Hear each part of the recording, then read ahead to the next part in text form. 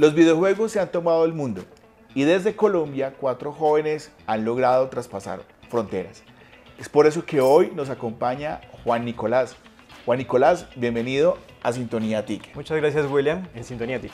Juan Nicolás, usted es uno de cuatro amigos que se conocieron en un curso y decidieron hacer videojuegos. Cuéntenos cómo es esa historia. Por supuesto, en 2017 empezamos un curso de certificación en desarrollo de videojuegos, cuatro jóvenes que nos conocimos allá y creamos un equipo con el que queríamos hacer nuestros propios videojuegos.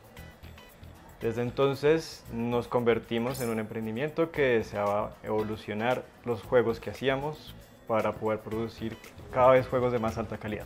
Bueno, cuéntanos esa historia. Ustedes fueron evolucionando.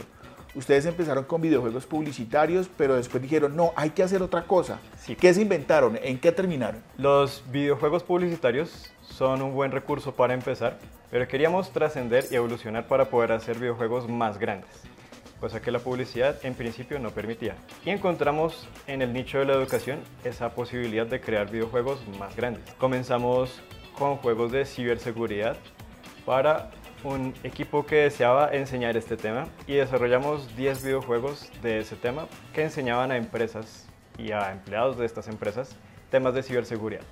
Tengo entendido que ustedes participaron del CREA Digital y su grupo, sus amigos, ustedes, fueron ganadores de, un premio en esta convocatoria que hizo el Ministerio TIC.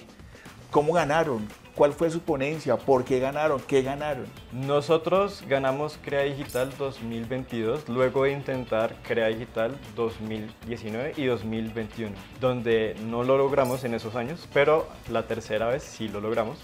Y entramos a Crea Digital con un videojuego educativo. Este videojuego educativo no era sobre ciberseguridad o sobre idiomas que también hemos enseñado, sino que era sobre el medio ambiente.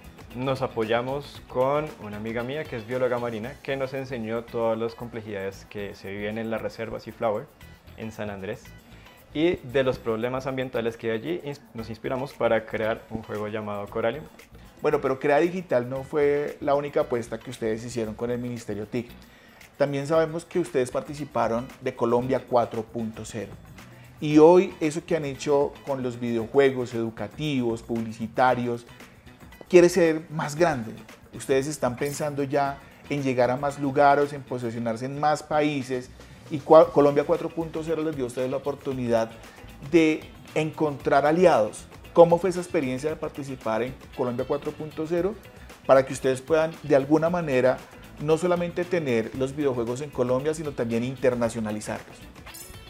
Por supuesto, nosotros hemos este año lanzado la apuesta propia de internacionalizarnos desde antes de Colombia 4.0, pero encontramos en Colombia 4.0, luego de poder pasar a exponer nuestra empresa ahí, el espacio de una ronda de negocios donde conocimos dos empresas internacionales, una de las cuales nos ha contactado para poder ofrecer servicios de algo que se llama outsourcing. El outsourcing es poder proveer pequeños fragmentos de videojuego a videojuegos de empresas grandes a nivel internacional. Juan Nicolás, esto es importante porque aquí queda demostrado que participar en las actividades que desarrolla el Ministerio TIC es importante para que no solamente los jóvenes, sino las personas que están involucradas en el mundo de la tecnología puedan desarrollar sus ideas esto que sucedió con Juan Nicolás y con sus amigos, de volverse un grupo de trabajo que hoy se proyecta a nivel internacional, es algo muy importante para que Colombia resalte en el exterior.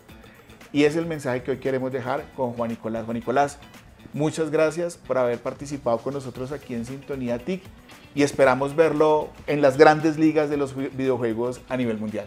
Muchas gracias, William. Quedamos en Sintonía, en Sintonía TIC.